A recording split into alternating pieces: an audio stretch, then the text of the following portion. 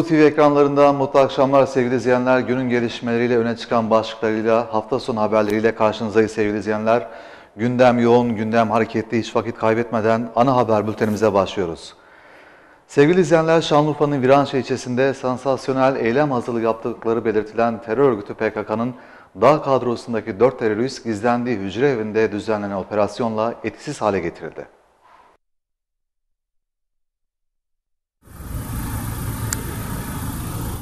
Sansasyonel eylem için Viranşehir'e geldikleri belirtilen ikisi kadın dört teröristin Demirci Mahallesi'nde tek katlı avlulu evde gizlendiklerini saptayan polis dün saat 21 sıralarında söz konusu adrese operasyon yaptı.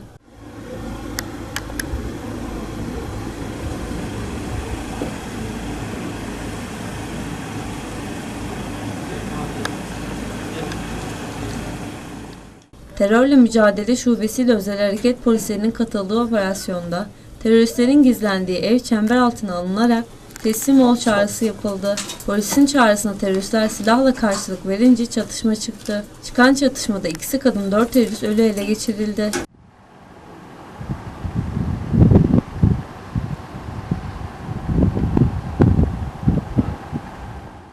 Hücre evinde yapılan ön incelemede ölen teröristlerin patlayıcılarla tuzaklama yaptıkları tespit edilmesi üzerine olay yerine bomba imha ekipleri çağrıldı. Uzman ekipler evde bulunan patlayıcıları kontrollü bir şekilde imha etti.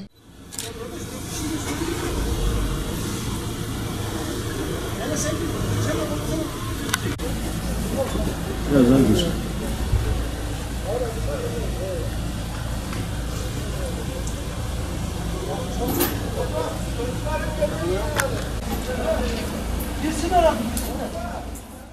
Evde yapılan aramada ölen teröristlerin yanında otomatik silah, el bombası ve çok sayıda mühimmat ele geçirildi. Silah ve mühimmatlara el konulurken teröristlerin cesetleri otopsi ve kimliklerin tespit edilmesi için Adli Tıp Kurumu morguna götürüldü.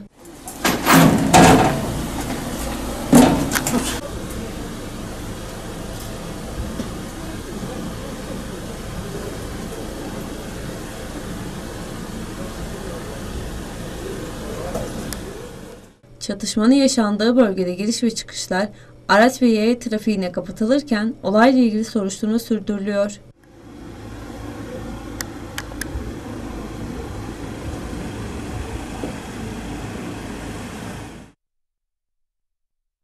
Sevgili izleyenler, Ulaştırma, Denizcilik ve Haberleşme Bakanı Ahmet Arslan, geçmişte IMF marifetiyle yönetilmeye çalışılan Türkiye'nin geldiği noktayı çekemeyenlerin mücadele için maşa olarak hainleri kullandığını söyledi. Ve Haberleşme Bakanımız Sayın Ahmet Arslan Bakan Arslan temaslarda bulunmak üzere geldiği Adıyaman, Kahtan, Narince ve Sivere Karayolu 1. kısım temel atma törenine katıldı. Kahtan'ın Narince köyünde yapılan temel atma törenine Bakan Arslan'ın yanı sıra Adıyaman Valisi Abdullah Erin, TBMM Başkan Vekili Ahmet Aydın, milletvekilleri ve belediye başkanları katıldı.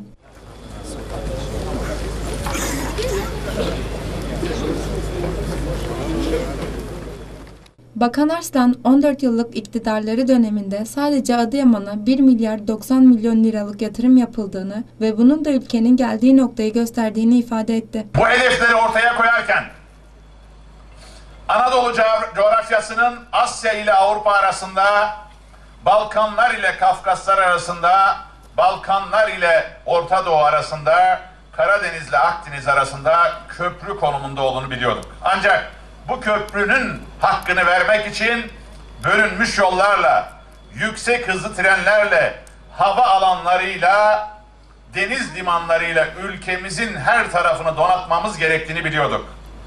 İşte tam da bunu yapmaya başlayınca bölünmüş yolda 25 bin kilometreyi, hava alanlarında yılda 35 milyondan 180 milyonun üzerinde yolcu taşımayı yakalayınca, dünyanın 8. Avrupa'nın 6. yüksek hızlı tren hattına sahip ülkesi olunca, denizcilikte yılda 200 milyon ton yük elleşlerken 420 milyon ton yük elleşler hale gelince dünyayı kendi aralarında yönetmeye alışanlar ve Türkiye'nin onların biçtiği role göre hareket etmesine alışanlar bunu çekemediler. Bunu çekemedikleri için Türkiye'ye çelme takmaya çalışıyorlar. Bakan Arslan beraberindekilerle konuşmasının ardından butona basarak temel atmayı gerçekleştirdi. Bismillahirrahmanirrahim.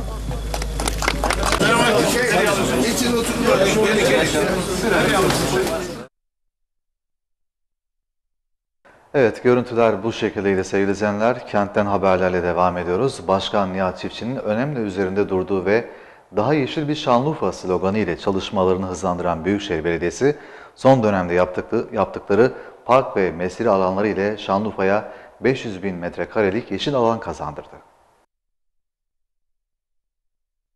Şanlıurfa tarihinin en büyük yeşil alanlarını sosyal donatıları ile birlikte vatandaşların hizmetine sunan Büyükşehir Belediyesi, Şanlıurfa genelinde park ve mesire alanlarının yapımına yönelik çalışmalarını da sürdürüyor.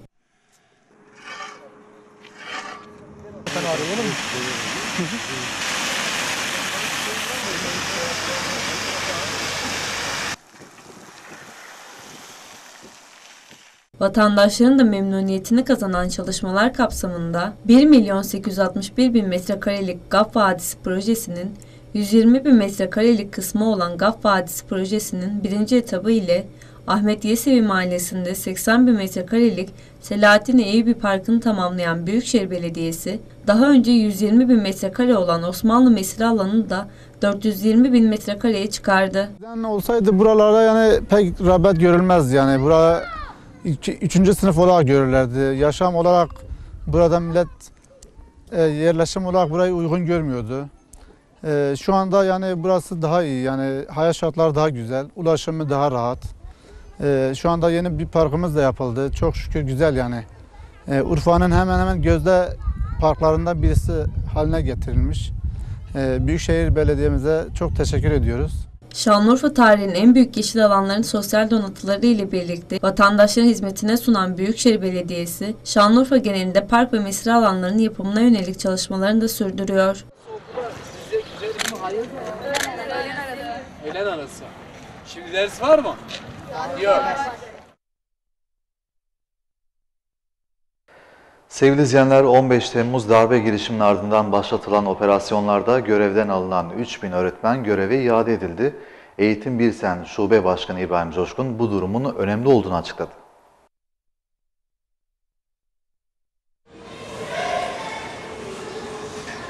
...15 Temmuz darbe girişimiyle birlikte başlayan operasyonlarda FETÖ ve PKK'ya üye olduğu gerekçesiyle binlerce öğretmen görevden uzaklaştırıldı.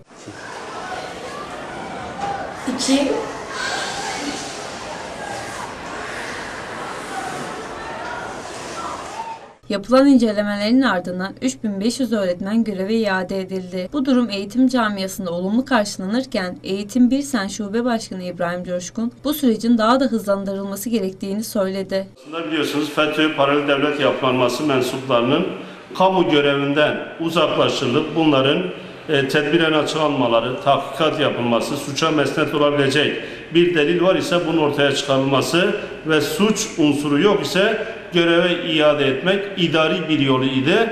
Ama daha önce de açıkladığımız gibi bu artık idari yol olmaktan çıkmış bir sürüncemeye dönüşmüştür. Özellikle iller arasında farklı uygulamaların, farklı kıstasların olması biraz daha e, farklı mağduriyetler oluşturmaktadır. Özellikle bu paralel devlet yapılanmasıyla uğraşan kişilerin çok e, gizli ve çok yüzlü bir yapının deşifre edilmesi, FETÖ üyesi olan her kim var ise tespit edilmesi ne kadar önemli ve elzem ise bunlarla aynı muameleye maruz kalmış masumların bir an önce görevine iade edilmesi de o kadar önemlidir. Kişiyi tekrar görevine iade etmesi önemli bir şeydir. Dolayısıyla bizim de buradan yetkililerden isteğimiz bu sürecin fazla uzamaması, bu tahkikatın hızlı bir şekilde yapılarak gerçekten masum olanların görevine iade edilmesini biz istiyoruz. Sevgili izleyenler Şanlıurfa'nın Sive ilçesinde bir kişinin öldüğü kavganın ardından aralarında husumet başlayan iki aile törenle barıştı.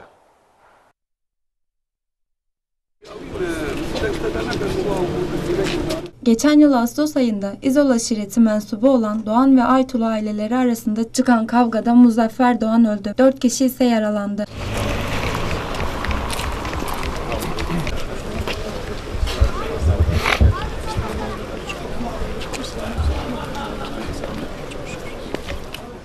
Olayın ardından aileler arasında başlayan husumetin kan davasına dönüşmemesi için İzol aşiretinin önde gelen isimlerinden olan eski milletvekili Zülfikar İzol devreye girdi. İzol'un görüşmelerinin ardından her iki ailenin ikna olmasıyla bugün bir düğün salonunda barış yemeği düzenlendi.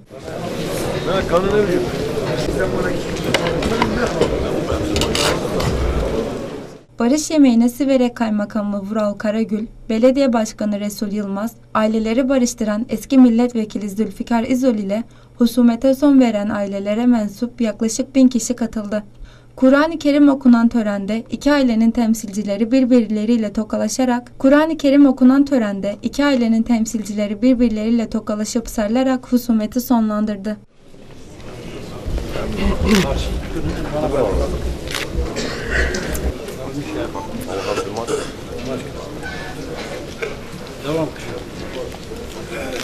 İki ailenin fertlerinin birlikte yemek yediği törende konuşan, barışa aracılık eden Zülfikar İzol, husumet ve kan davalarının sona ermesinin çok önemli olduğunu ve herkesin barış için çabalaması gerektiğini söyledi. İzol, barışarak husumete son veren iki aile fertlerini de duyarlılıklarından dolayı kutladı.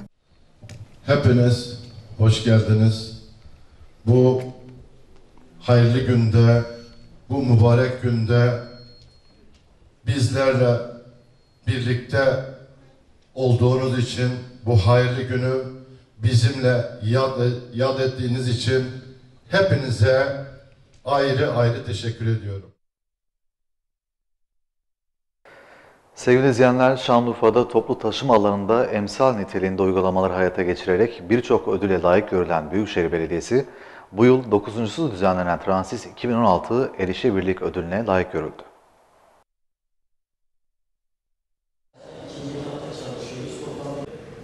Vatandaşlara daha iyi, kaliteli ve hızlı hizmet verebilmek için yeni toplu taşıma merkezleri, modern ve yeni araç filosu, yeni güzergahlar ve konforlu yolculuk gibi birçok yenilikçi uygulamalara imza atan Büyükşehir Belediyesi, ulaşım kalitesini her geçen yıl Türkiye genelinde bir adım öteye taşıyor. Product spends much less time in actual last mile delivery important concepts. So those are um, things to keep in mind when İstanbul'da düzenlenen Transit 2016 Uluslararası Ulaşım Teknolojileri Sempozyumu ve fuarında mükemmellik kültürünün toplu ulaşım hizmeti veren kuruluşlarca benimsenmesi ve hizmet kalitesinin artırılması amacıyla düzenlenen yarışmada ödüle layık görülen Şanlıurfa Büyükşehir Belediyesi'nin ödülünü Başkan Vekili Nihat Kılıç aldı. Büyükşehir Belediyesi Meclis Başkan Vekili Sayın Avukat Nihat Kılıç'ı sahneye davet ediyoruz.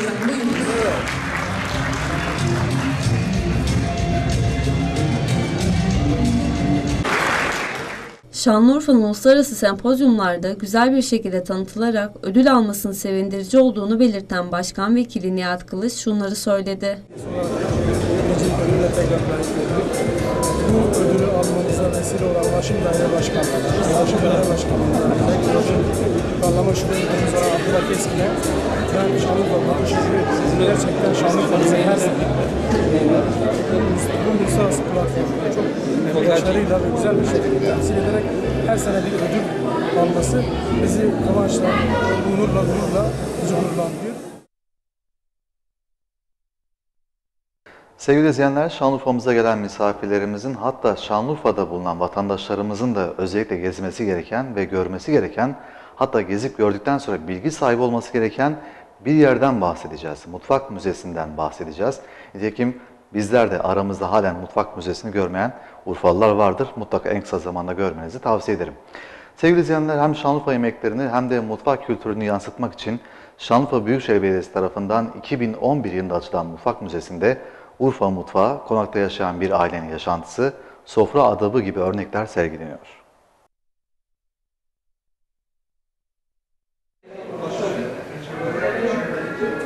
...2011'de Şanlıurfa Büyükşehir Belediyesi tarafından kurulan müzenin odalarında Urfa aile yapısı ve yaşantıları sergileniyor. Hacıbanlar Konağı pek çok kapalı bölümün yanı sıra terasa, havuza ve geniş bir avluya sahip.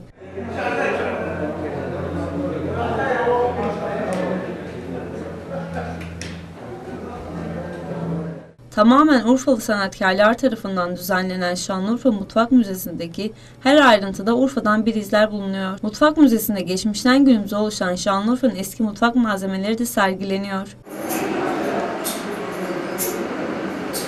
Şanlıurfa mutfak kültürünün önemli örnekleri olan objelerin yöreye özgü kıyafetler giymiş mankenler yardımıyla canlandırıldığı geleneksel mutfak müzesi 5 odalı, içerisinde iki su kuyusu bulunan ve geniş avlusu ile tarihi Urfa evlerinin vazgeçilmez örneklerinden biri. Bu anlamda gelen ziyaretçiler Şanlıurfa kültürü hakkında oldukça bilgi kazanıyor.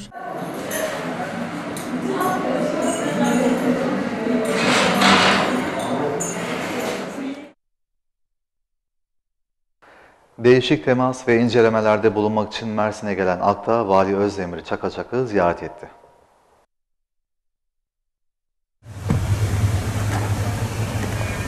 Çeşitli temaslarda bulunmak için Mersin'e gelen Sağlık Bakanı Recep Akdağ, burada yaptığı konuşmada Mersin'de Türkiye'deki ilk şehir halkı hastanesinin açılışının yakın gelecekte yapacaklarını bildirerek Sayın Cumhurbaşkanımızın rüya projeleri olarak açıklama edebileceğim büyük kasaba hastaneleri Türkiye'de afiyet hizmetleri açısından devletin yaptığı Sağlık Bakanlığı'nın verdiği hastanecilik hizmetlerinde yeni bir döneme için önemli bir dönüşümün inşallah başlangıcı olacak. Bu hastaneler her yönüyle çok iyi hastaneler. Onun için yakın bir zaman önce Mersin'e gelmiştim. Bugün her tarafta Mersin'de bu meseleye yoğunlaşacağız diye konuştu.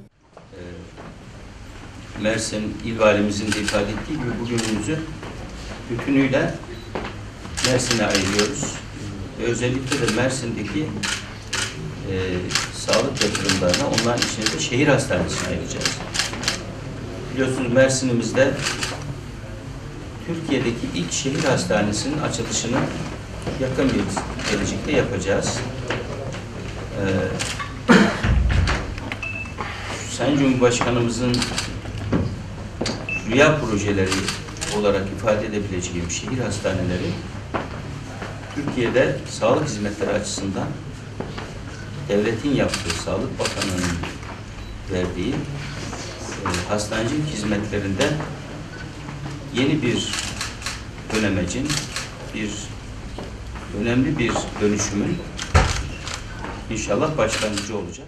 Akdağ hastanenin yalnızca bedensel yapısı, yolları, çevresi, binası ya da içerisindeki ihtiyaçlarının olmadığını, aynı zamanda işletmesi açısından da değerlendirme yapacaklarını bildirerek sözlerini şöyle sürdürdü.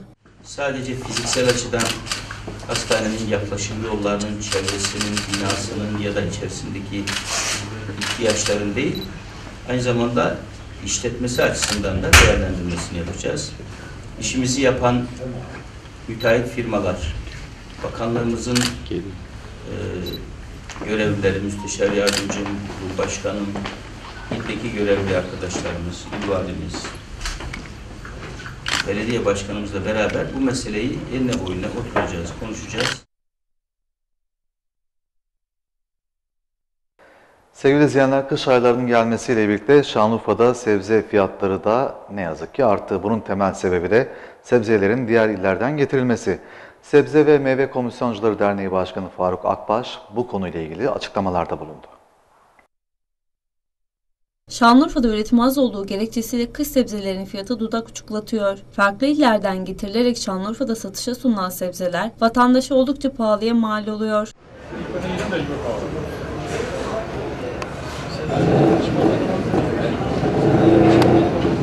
Şanlıurfa'da seracılığın yaygınlık kazanmamasının sonucu bu durum yaşanırken Sebze ve Meyve Komisyoncuları Dernek Başkanı Faruk Akbaş, yeni gelişmeye başlayan seracılığın hızlandırılması gerektiğini söyledi. Şimdi bununla ilgili malumunuz bizim e, Şanlıurfa'mızın kış mevsiminde iklimi e, nispeten soğuk geçmekte. E, ya jeotermal enerjiyle veyahut da katısal e, ısıtma sistemiyle seraların muhafaza edilmesi, kış aylarında da ürün elde edilmesi mümkün. Ancak e, termal enerjinin dışındaki diğer e, yöntemler çiftçiye maliyeti ağır geldiğinden dolayı çok tercih edilmemektedir. Şimdi tabii ki bizim e, bununla ilgili çok girişimlerimiz oldu. Güneş enerji sistemiyle ilgili seraların ısıtmasına yönelik, yine bunu, e, bunun yanında e, soba sistemiyle ısıtmasına yönelik çalışmalarımız olduysa da Şanlıurfa şartlarında kış aylarında jeotermal dışındaki yöntemler pek e, rağbet görmedi çiftçimiz tarafından. Sadece Karaali bölgesinde seracılık yaygınlık kazanırken malumu olduğu üzere bu seralar bölge için yetersiz kalıyor. Akbaş çiftçilerin seracılığa daha büyük bir ilgi göstermesi gerektiğini belirtti. Şanlıurfa'mızda eskiye nazaran Karaali'nin dışında da birçok yerde seracılık e, gelişmekte ve çiftçimiz e, seracılıktaki yüksek kar gördüğünden dolayı yan komşularla bitişik köylüler de seracılık tercih etmekte. Bizler de bununla ilgili elimizden gelen yardımları göstermekteyiz. Ancak her zaman söylediğimiz gibi mutlaka yine e, gerek Tarım İl Müdürlüğümüz, gerek Ziraat Fakültemiz ve ilgili STK'lar işbirliğiyle pilot bölgelerin oluşturulması. Sınıra geçiyoruz sevgili izleyenler. Suriye rejim uçakları tarafından Türkiye sınırına yakın İdlib kentine bağlı Kafr Nabil kasabasına yapılan hava saldırısında 22 kişi öldü, 15 kişi de yaralandı.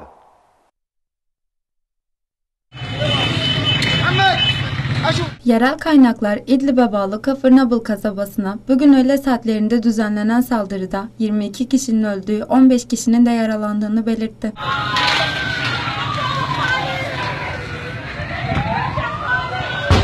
Saldırı sonrası bölgedeki sivil savunma ekiplerinin yaralıları kurtarma çalışması başlattığı bildirildi. Rejim uçaklarının saldırısında binaların yanı sıra birçok iş yeri ve araçların da ağır hasar gördüğü belirtildi. بعض الحرائق التي تمكن الدفاع المدني من اطفائها قبل قليل لا احصاء لا احصائيه دقيقه Şimdi de Adana'ya geçiyoruz sevgili izleyenler. Anons etmek istemediğim ve görmek istemediğimiz bir haberle ne yazık ki devam ediyoruz. Adana'da özel bir tıp merkezinin acil servisinde görevli pratisyen Doktor Talip Yalım, muayene ettiği bir hastanın yakınlarının tam teşekküllü hastaneye sevki için istediği ambulans çağırmayınca tekmeli tokatlı saldırıya uğradı. Olay dün saat 20.30'da Şakirpaşa mahallesindeki özel bir tıp merkezinde meydana geldi. Acil servise getirilen 16 yaşındaki bir kızı muayene eden görevli Doktor Talip Yalım, hastanın yakınlarına acil bir durum olmadığını söyledi. Genç kızın durumunun psikiyatrik olduğu belirtilen Yalım'a iddiaya göre hasta yakınları tepki gösterdi. Hastalarının ambulans çağrılarak tam teşekküllü bir hastaneye sevk edilmesini isteyen genç kızın yakınları ile doktor arasında arbede çıktı. Hasta yakınlarından biri Talip Yalım'a iki kez sekme attıktan sonra kaçtı. Hasta da tıp merkezinden ayrıldı.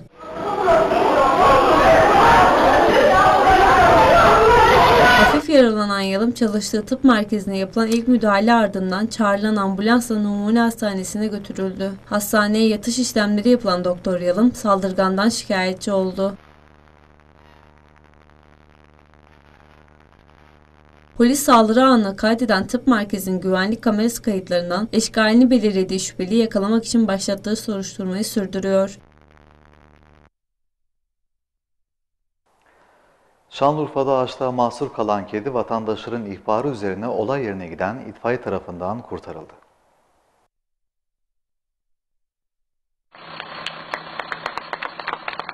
Edinilen bilgiye göre Şanlıurfa'da gece saatlerinde ağaçta bir kedinin mahsur kaldığını gören vatandaşlar durumu itfaiye ekiplerine bildirdi. Olay yerine giden ekipler itfaiye aracının ağaca yanaştırıp mahsur kalan kediyi kurtardı. İtfaiyecinin kediyi kurtarması üzerine çevredeki vatandaşlar ise alkış çaldı. İtfaiye eri tarafından indirilen kedi bir vatandaş tarafından alınmak istenirken atlayıp kaçarak uzaklaştı. Hadi. Yaşanan bu olay ise bir vatandaş tarafından cep telefonu ile kaydedildi.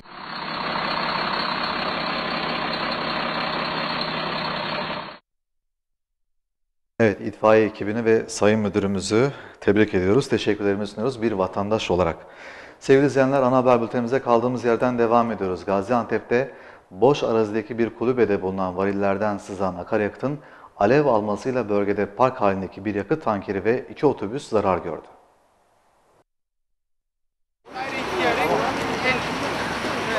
Olay dün akşam saatlerinde Karacaahmet mahallesindeki boş arazide meydana geldi. İddiaya göre arazide bulunan kulübedeki varillerin içindeki akaryakıt sızarak plakasız yakıt tankerleriyle park halindeki yolcu otobüsünün bulunduğu alana aktı.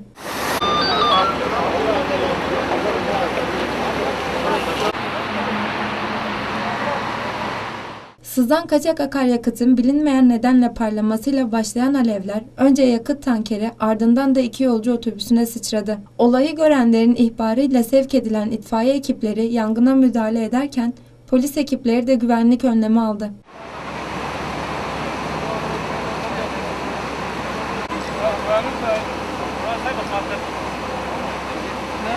Yakıt tankerlerinin kullanılmaz hale geldiği yangında yolcu otobüslerinde de hasar oluştu. Olayla ilgili soruşturma sürdürülüyor.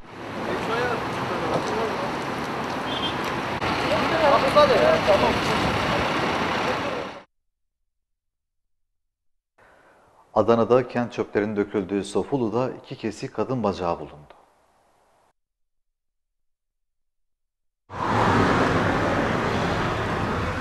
Çöplerin işlendiği arıtma bölgesinde cinayete kurban gittikten sonra üst kısımda kesildiği anlaşılan aynı kadına ait bacakların bulunması üzerine cinayet masası olayı incelemeye aldı.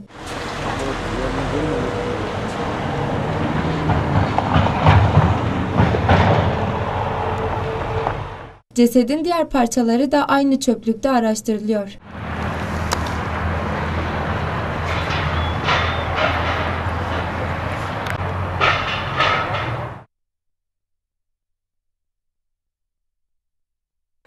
Gaziantep'te iki kadın iş yerinde oyaladıkları Suriye uyruklu İmat El Hatip'in montunun cebinde bulunan 7300 dolar, 1000 riyal ve 80 avro parayı çalarak kayıplara karıştı.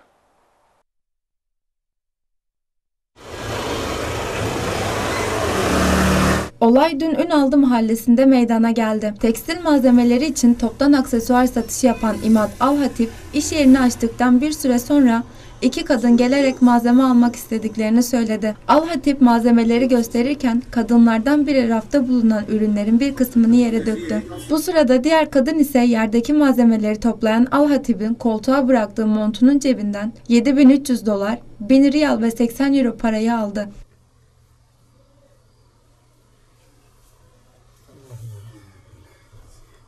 İki kadın daha sonra dışarıya çıkıp hızla uzaklaşarak kayıplara karıştı. Kısa süre sonra cebinde paraların olmadığını anlayan Al Hatip polisi arayarak yardım istedi. Şurada girmiş. Şuradan girmişler. E, iki tane hesap istemişler. Hesap, hesap vermeye gelmişler. 200 TL vermiş. Oradan bütün parası çıkardım. Olay yerine gelen polisler de yaptıkları incelemenin ardından güvenlik kameralarınca eşkali kaydedilen kadınların yakalanmaları için çalışma başlattı.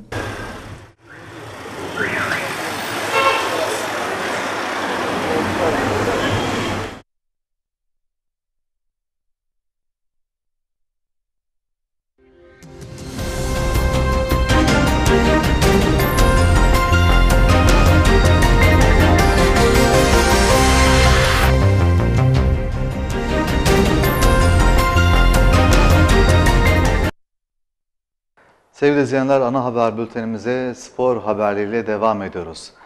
Değerli izleyenler tekerlekli basketbol süper liginde geçtiğimiz hafta Beşiktaş'ı konuk eden Şanlıurfa Büyükşehir Belediyesi tekerlekli basketbol takımı bu hafta 3 Aralık Dünya Engelliler Günü'nde Galatasaray ile deplasmanda karşılaştı.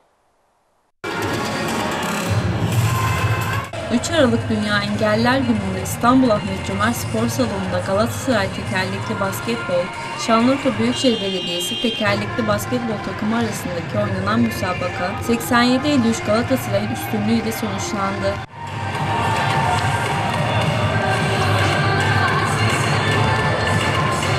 Şanlıurfa Belediyesi tekerlekli basketbol takımını güllerle karşılayan Galatasaray takımı ve taraftarı 3 Aralık Dünya Engelliler Günü'nde oynanan karşılaşma adeta şenlik havasında geçti.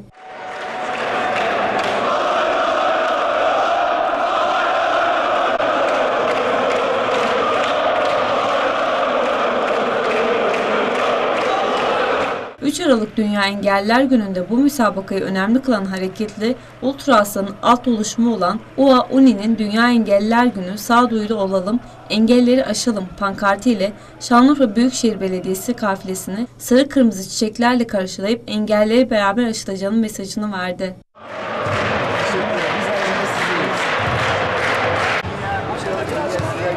Her iki takımın da karşılıklı basketleriyle süre giden karşılaşmanın sonucunda Galatasaray, Şanlıurfa ekibini 87-53'lük skorla geçerken maç sonrasında her iki takım oyuncuları da birbirlerini tebrik ederek Dünya Engelliler Günü'nü kutladılar.